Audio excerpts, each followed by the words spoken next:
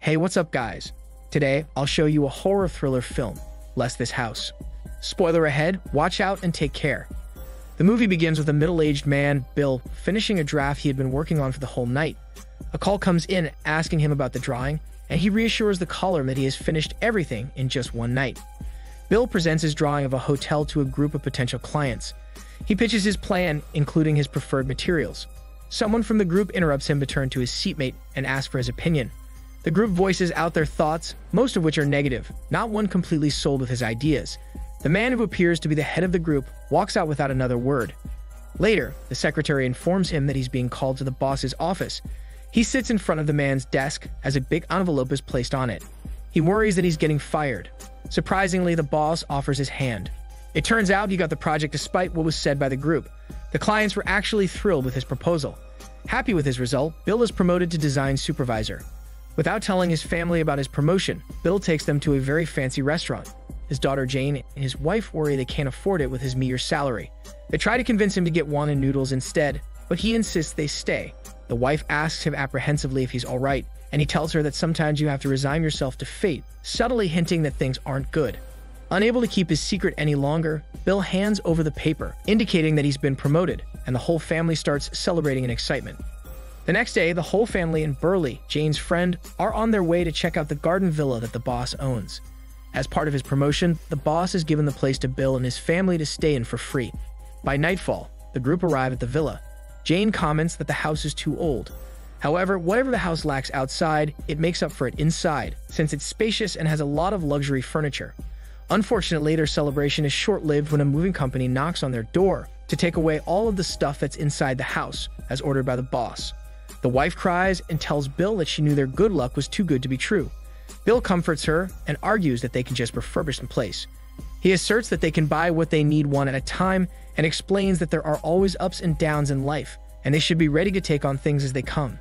While lighting one of the candles in the kitchen, Jane finds a creepy man eerily smiling by the window. She screams, and everyone rushes to her aid. The mother asks her what the matter was, but all she can utter is that there was a ghost by the window. When they look out the window, nothing's there. On moving day, the mother asks Burley for help to move a potted plant back and forth. While no one's looking, the potted plant slides back to its original position. When the mother turns around and finds the potted plant, she scolds Burley for not listening to her, which confuses the younger man since he was sure he had moved it as she requested. Jane goes out to get a couple of newspapers from the trunk of their car. A figure stands on top of the rooftop, gazing down at her. She looks up in fear, but the figure is no longer there. When she closes the trunk, the creepy man asks her if they're moving in and goes to look through their stuff. Creaked out with him, she threatens to call the police if he doesn't leave. He walks away, but warns them not to move in, or else they'll regret it sooner or later. The family goes to the roof storehouse to store some stuff they no longer need. As the mother tidies up, her arms land on a box that's surrounded by roaches. She realizes it too late and screams out loud. Bill tries to help her out, but a roach crawls up on his arm as well. About to run out, he accidentally steps on a framed photo.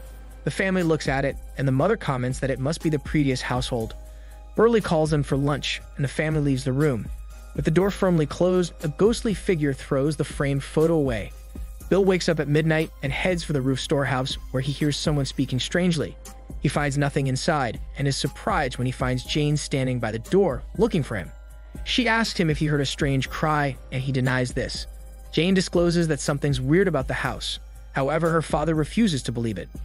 The next day, while fixing the wallpaper, Jane falls off the ladder after uncovering a couple of disturbing drawings on the wall. She calls Burley over. While covering up the drawings, Bill makes light of them and tells Jane not to worry, as he's sure they might be drawn by some naughty children. After dinner, Burley offers to wash the dishes. He prays that the typhoon reported to be headed for Hong Kong comes faster so that the family have to let him stay. If in that case, he can stay up late with Jane. While daydreaming of that, a ghostly figure takes one of the pans and hits him on the head. The typhoon does arrive early, and public transportation is closed early to keep everyone safe. Burley stays as he planned, but the family banishes him to the couch. Late at night, he sneaks up the stairs to knock on Jane's door. She scares him with a mask, and they get caught by the mother. She reprimands the two, so he goes back downstairs. Jane scares Burley again while wearing the mask and hands one over to him. He tries to dissuade her, pretending that the mother might berate them, but she convinces him to put it on, and they start candling. While doing so, the real Jane walks over to the banister to check on him. She sees the boy writhing on his own, which she finds weird. Burley notices the real Jane upstairs walking away and pushes whoever's on his lap away. It's a scary ghost who continues to candle Burley despite his protest. Finally, believing Jane, Burley agrees that there's something wrong with the house and brings her to an exorcist to ask for help. The man starts spouting nonsense and attempts to do a breathing exercise on Jane, telling Burley he has to do it on her chest and reaching to touch her. Burley waves him off, but the exorcist continues. Tired of the arguing, Jane asks the man if he's an exorcist or a pervert. Embarrassed over his attitude, he asks Jane about their house, and they bring him over. The exorcist asks Jane and Burley to leave the room so that he can perform his ritual in peace.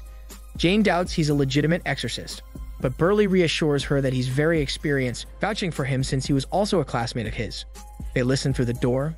While the exorcist starts his ritual, a vacuum moves on its own to clean up the holy powder he had sprinkled around to protect himself. He grabs a sword to fight off the vacuum, but to no avail, and the sword is dulled around the edges now. The vacuum then chases him, when it goes quiet, Burley enters the room to check on the exorcist. Out of nowhere, a sack falls from the ceiling. Burley opens it, only to find the exorcist inside, with bruises all over his face and body. In fear, the man runs his smelly ass away in four limbs. That night, Bill comes across an interview done by the exorcist. He talks about ghosts in his segment, and Bill turns the television off after exclaiming that it's nonsense. Later, he hears a noise. He searches for it and realizes it's coming from the roof storehouse again. He checks inside and comes across a scary ghost woman. He runs away in fear. Later at work, a coworker of Bill greets him and asks him how he is. Bill tells him that he didn't sleep well, and the coworker bluntly tells him that he knows Bill doesn't believe that. He gives him a spell that advises him to move out of the house as soon as possible. Back home, as Bill's opening the gate to his house, the creepy man comes up to him. He mistakes him for an illegal immigrant and gives him money as donation. As soon as he touches his palm, the man starts shaking in fear, drops the money, and walks away. He repeats his warning for them to move out before it's too late. It's revealed that the creepy man is a jumping Buddha who can see ghosts. During dinner, Bill acts strangely. He looks to be in a daze. Jane admits to him that she asked the exorcist to exorcise the house, but nothing happened. She encourages her father to move out, but he refuses, slamming his hand on the table, causing a hot soup to spill all over his lap.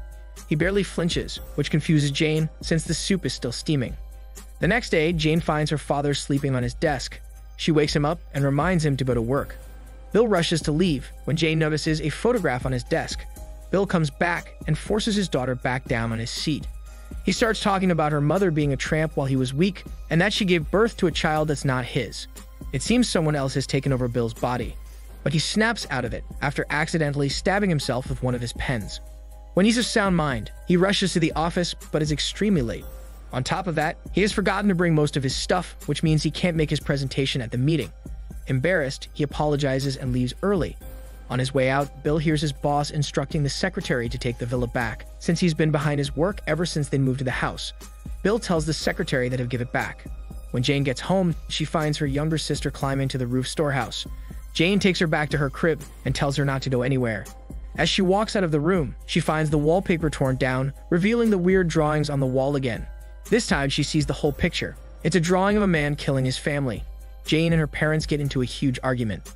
The mother blames Jane for the torn wallpaper, while Jane argues about the haunted house. At the office the next day, the coworker intercepts Bill and finally reveals to him the real tragedy that happened at the house. It turns out an actor and his family used to live there. However, after an accident and being wheelchair bound, the actor lost everything and ended up killing his whole family. He then set fire to the house. It turns out, for money saving, the boss never got the house blessed, which is why the family's still haunting the place. Having a small breakdown, Bill destroys his stuff at home before picking up a sword and challenging the ghost father to come out and fight. The ghost father uses Bill's reflection to tell him that they're doomed to end up like they did. Jane and Burley decide to end whatever is going on at the house. They head for the temple to look for the jumping Buddha and ask for help. They find him, and he explains that the spirits have been seeking their doubles to resurrect themselves. The jumping Buddha has been trying to guard the place and get rid of the spirits, what to no avail. Back at home, the ghost father finally shows himself to Bill. With his supernatural power, he throws Bill inside a closet to cut him in half. The wife hears Bill screaming and hurries down the basement, finding the ghost father. She screams in fear, but when she hears Bill's cry for help, she musters enough courage to push the ghost father down the stairs, which stops the attack. Then the electricity starts sparking. The wife hurries to help Bill out of the closet to escape. As they're driving away, the mother looks back and finds Jane running inside the house. They try to scream for her to stop, but it's raining really hard that she doesn't hear them. With no choice, Bill goes back to the house and instructs his wife to take the little daughter and leave, in case they never come out. It's taking too long, so she enters the house despite Bill's instructions, leaving the little daughter in the car. She calls for her husband and daughter quietly, then trips over Jane, who's tied up. Jane begs her mother to leave or they'll die. Bill appears, but this time he's possessed by the ghost father and carrying their little daughter. The clock strikes midnight. He throws the little girl towards the couch and douses them with kerosene. The ghost father believes that if he kills them, he'll be reincarnated. Right at that critical moment, the jumping Buddha jumps through the window and covers the girls with a cloth filled with spells. He fights with the possessed Bill, and after a fast and furious fight, he successfully drives the ghost father out of his body. They think it's over, but the ghost father materializes. Burley arrives, carrying the bone ashes of the jumping Buddha's master. They think he'll stop the ghost father, since it's the ashes of a respected religious figure. But unfortunately, Burley gets thrown off by the ghost father. He instructs Bill to throw the ashes instead to stop the ghost. So Bill uses an electric fan to spray the ashes all over the ghost father, which immediately drives him away. The next day, Bill decides to get the house demolished. The coworker hurries over to tell Bill that the boss is angry and wants compensation since he has already found a new tenant for the house. Bill tells him that they need to destroy the house first, and the coworker promises to arrange the rites to appease the spirits. The boss arrives later in anger and threatens everyone who has a hand in destroying the house. Annoyed, Bill operates one of the machines and lifts the boss by his coat. He begs for Bill to put him down. Bill demands his promise not to take any more tenants for the house, but the boss refuses. Bill tells him okay and drops him over some trash. However, when the boss looks to the side, he finds a ghost mother carrying her baby there, scaring the shit out of him. On their way out, they come across the jumping Buddha, who is still alive but badly beaten up. The movie ends with the coworker excitedly running up to Bill to give him news that his cousin in Singapore is paying him double to work on his new hotel. This is Daniel CC Movie Channel. Stay safe and enjoy your day.